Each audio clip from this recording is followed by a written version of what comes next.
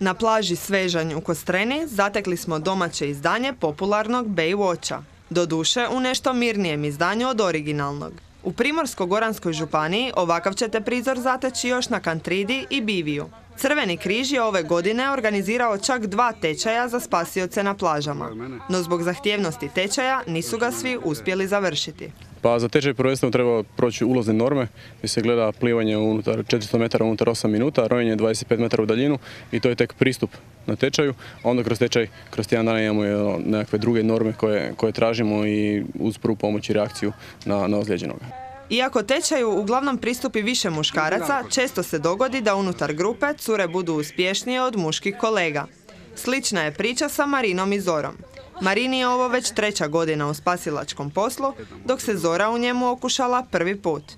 Posao joj, kaže, ipak nije toliko zahtjevan, budući da je dugo trenirala sinkronizirano plivanje.